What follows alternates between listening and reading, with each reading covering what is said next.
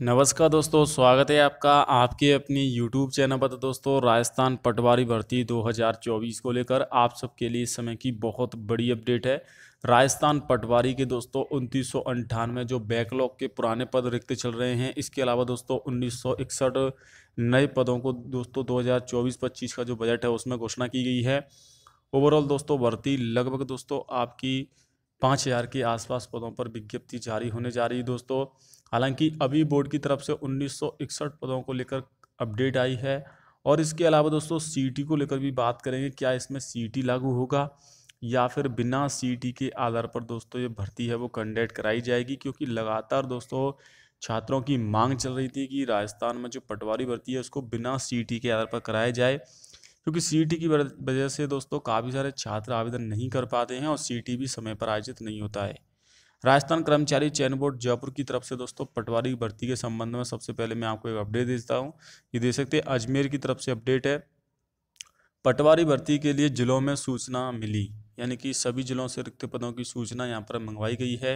राज्य में उन्नीस पटवारियों की भर्ती की जाएगी, इनमें से सोलह नॉन टीएसपी एरिया के तथा दो टीएसपी एरिया के लिए रिज़र्व हैं। गौरतलब है कि 2000 अगस्त 2023 में राज्य में पटवारी की भर्ती प्रक्रिया चल रही है। राजस्व मंडल ने उनतीस पदों को मंजूरी के लिए प्रस्ताव राज्य सरकार को भेजा था, लेकिन आचार संहिता चुनाव के कारण दोस्तों भर्ती प्रक्रिया को मंजूरी नहीं दी गई थी। तो दोस्तों, पटवारी के सिर्फ़ उन्नीस ही पद रिक्त नहीं है, बल्कि अन्य पद भी रिक्त हैं। हालाँकि उन्नीस पदों पर वर्तमान में स्वीकृति दी गई है, जबकि जो तीन हज़ार पद हैं, इनको भी स्वीकृति की मांग की जा रही है। आपको बताऊँ दोस्तों, अगर उन्नीस पदों पर विज्ञप्ति जारी हुई तो बाद में इन तीन हज़ार पदों को भी इसमें ऐड किया जाएगा तो आप ये ना सोचें कि उन्नीस पदों पर ही सीधी भर्ती जाएगी क्योंकि तीन हज़ार जो रिक्त पद हैं, उनको भी इसमें जोड़ा जाएगा। उनतीस सौ अंठानवे पद जो अगस्त दो हज़ार तेईस से ही खाली चल रहे हैं, और ओवरऑल दोस्तों भर्ती लगभग उनचास के आसपास पदों पर होगी, लगभग पाँच हज़ार पदों पर। तो दोस्तों, पटवारी भर्ती का जो नोटिफिकेशन है, वो दोस्तों राजस्थान कर्मचारी चयन बोर्ड जारी करेगा। रिक्त पदों की सूचना यहाँ पर मंगवाई गई है और सूचना भी प्राप्त हो चुकी है। सी को लेकर दोस्तों स्थिति क्लियर नहीं है। कुछ यहाँ पर अपडेट है कि सी लागू होगा, कुछ अपडेट है कि बिना सी के होगी। इससे पहले अगर बात करें तो दोस्तों राजस्थान पटवारी का जो पेपर हुआ था वो सी के आधार पर ही हुआ था। लेकिन इस बार दोस्तों सी का आयोजन नहीं होने से भर्तियाँ लगातार लेट हो रही हैं। इसीलिए छात्रों की मांग है कि बिना सीटी के ही पटवारी भर्ती परीक्षा का आयोजन किया जाए। पटवारी के लिए दोस्तों अगर बात करें तो इसमें ग्रेजुएशन होना ज़रूरी है। ग्रेजुएशन पास विद्यार्थी ही सीट जो है पटवारी भर्ती के लिए आवेदन कर सकते हैं।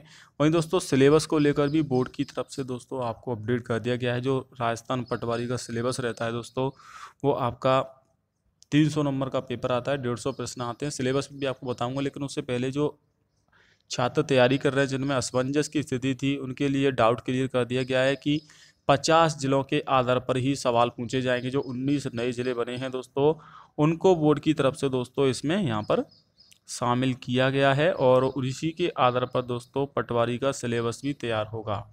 तो दोस्तों, पचास जिलों के आधार पर ही सवाल आएँगे। खुद बोर्ड के अधिकारी ने कहा है, जो बोर्ड अध्यक्ष हैं आलोक राय तो आप पटवारी की उसी के हिसाब से तैयारी करें। किताबें बदल गई हैं, सिलेबस भी दोस्तों आपका लगभग पूरा चेंज हो चुका है।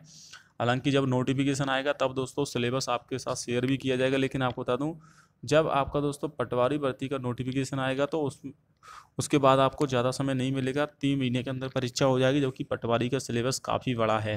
सिलेबस में क्या क्या आता है? चलिए मैं आपको थोड़ा सिलेबस को लेकर बेसिक जानकारी दे देता हूँ दोस्तों। सबसे पहले आपकी जनरल साइंस इसके प्रश्न आते हैं।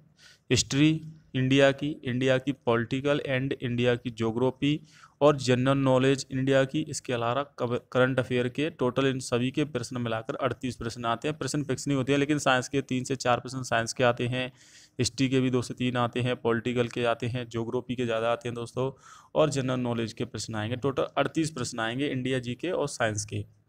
तो ये चीज़ आपको दोस्तों अड़तीस नंबर की देखने को मिल, अड़तीस क्वेश्चन आएँगे छहत्तर नंबर के। इसके बाद दोस्तों आपका सिलेबस आपसे पूछा जाएगा, वो है आपका राजस्थान की जोग्राफी जी हाँ दोस्तों, राजस्थान की जोग्राफी राजस्थान की हिस्ट्री राजस्थान का कल्चर राजस्थान की पॉलिटिकल इसके तीस क्वेश्चन आएँगे साठ नंबर के। एक प्रश्न दोस्तों आपका रहेगा इसमें, दो नंबर का, इस प्रकार से तीन सौ नंबर का पेपर होगा, डेढ़ सौ प्रश्न आपसे पूछे जाएँगे। और एक बट्टा तीन की नेगेटिव मार्किंग भी रहेगी। इसके बाद दोस्तों, पाँच गुना अभ्यर्थियों को टेस्ट में पास किया जाएगा। पाँच गुना अभ्यर्थियों का दोस्तों बोर्ड की तरफ़ से टाइपिंग टेस्ट कराया जाएगा। टाइपिंग टेस्ट पाँच गुना का होगा। जनरल नॉलेज के जो प्रश्न हैं दोस्तों, वो आपके राजस्थान की जीके से भी आएँगे तो राजस्थान की करंट अफेयर भी आपको देखने को मिलेगी। जनरल हिंदी और इंग्लिश के दोस्तों 22 प्रश्न आएँगे चवालीस नंबर के, यानी कि इसमें से 11 प्रश्न हिंदी के और 11 आपके इंग्लिश के। इस प्रकार से दोस्तों इसका सिलेबस है। बाकी अगर बात करें मेंटल एबिलिटी एंड रीजनिंग के सबसे ज़्यादा प्रश्न आते हैं, इसमें आपका मैथ भी आता है दोस्तों। हालाँकि मैथ के प्रश्न अब कम कर दिए हैं।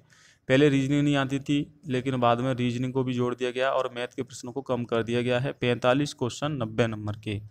बेसिक कंप्यूटर के पंद्रह क्वेश्चन आते हैं तीस नंबर के। तो ओवरऑल ये आपका सिलेबस हो जाता है दोस्तों, जो टोटल मिलाकर तीन सौ नंबर का। और इसको सिलेबस तैयार करने के लिए कम से कम आपको छः महीने का समय चाहिए। तो तैयारी आपको अभी से स्टार्ट करनी होगी। पटवारी के लिए अगर मोटा मोटा बात करूँ तो देखिए अभी उन्नीस पदों पर विज्ञप्ति जारी होगी। हो सकता है दोनों को जोड़कर भी विज्ञप्ति जारी कर दी जाए। दस से पंद्रह लाख फॉर्म आएँगे। अगर सीटी को इसमें शामिल नहीं किया जाता है, अगर सीटी शामिल होता है तो दो दो नियम हो जाएँगे। या तो पंद्रह गना को लिया जाएगा या फिर चालीस परसेंट। तो सीटी में भी नियम में संशोधन की प्रक्रिया चल रही है। हालाँकि चालीस परसेंट को ही रखा जाएगा। यानी कि जिन छात्रों के चालीस परसेंट नंबर होंगे दोस्तों, वो इस भर्ती प्रक्रिया में शामिल हो पाएँगे। तो ये भी दोस्तों, आप सबके लिए अच्छी अपडेट है कि 40 परसेंट का बोर्ड की तरफ़ से नियम है, वो लागू होगा। और 40 परसेंट वाले विद्यार्थी इसमें जो है पटवारी भर्ती के लिए आवेदन कर पाओगे। अगर सी लागू होता है। सी लागू नहीं होता है तो डायरेक्ट आप फॉर्म भरोगे। उसके लिए योग्यता मैंने आपको बता दी है। ग्रेजुएशन होना ज़रूरी है। साथ में आर एस होना भी ज़रूरी है, क्योंकि इसमें टाइपिंग टेस्ट होगा बाद में पाँच गुना का। और इसके अलावा दोस्तों 18 वर्ष से लेकर 40 वर्ष तक की आयु सीमा वाले विद्यार्थी, मेल फीमेल, दोनों आवेदन कर सकते हैं।